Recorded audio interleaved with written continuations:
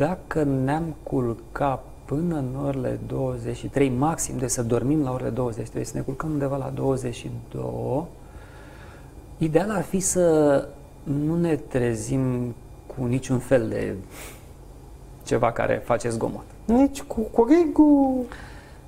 E, acela e un semnal, mai ales dacă e de la câteva curți distanță, dacă stăm într-o zonă rurală, acela e un semnal care nu este interpretat ca o alarmă de către sistemul nostru nervos. În timp ce anumite scomote, sonerii, știu că unii dintre noi trebuie să ajungă neapărat la o anumită oră undeva, dar acea alarmă, pur și simplu alarmă, nu e foarte potrivită să intervină în momentele în care noi dormim.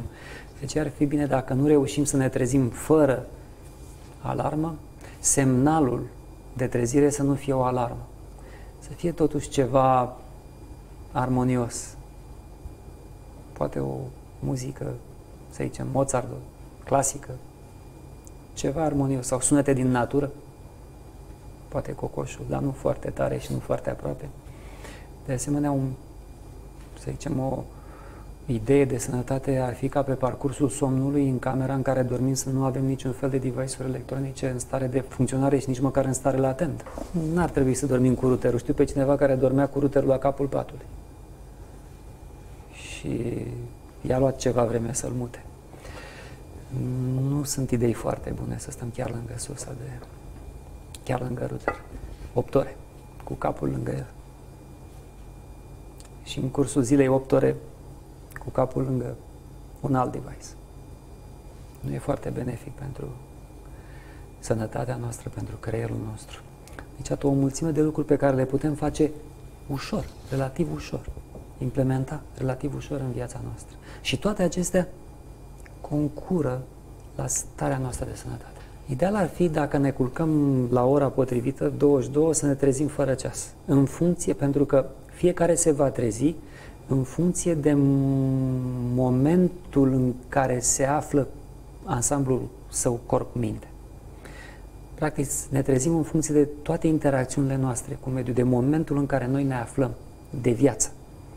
Ne vom trezi mai târziu dacă mai avem nevoie de somn, ne vom trezi mai devreme dacă avem multe aspecte ale vieții bine echilibrate, ne vom trezi mai devreme. De aceea e bine să ne trezim fără ceas, să ne facem cumva somnul, dar să nu înseamnă să dormim toată ziua următoare.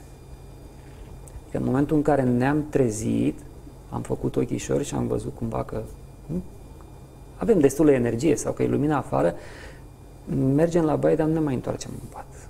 Ne spălăm cu apă rece, cel puțin pe față și nu ne mai întoarcem în pat.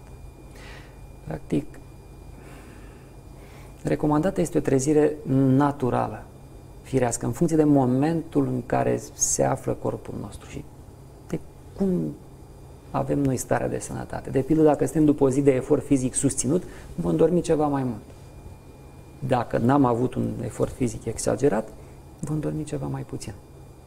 Important este să lăsăm corpul să se odihnească și mintea să nu intervină prea tare Oh, ce bine era în pat. și să ne aducă înapoi. Din nou ajungem la cel mai important factor, este acțiunea conștientă în toate aspectele vieții noastre.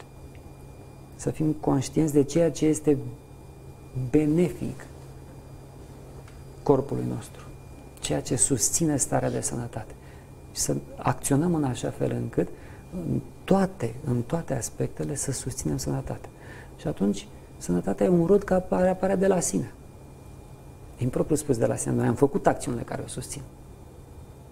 Dar apare ca un dar în urma acțiunilor făcute. De fapt, la fel apare și dezechilibrarea sănătății. Partea de boală apare la fel. În urma unor acțiuni susținute în direcția îmbolnăvirii.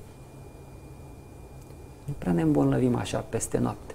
Nu ne trezim cu o boală poate am devenit conștienți de ea peste noapte sau într-un anumit moment al vieții, dar ea a fost creată prin acțiuni susținute multe ore înainte, multe săptămâni, poate mulți ani și abia acum am observat-o, că a devenit mai mare, dar dezechilibru e mai vechi.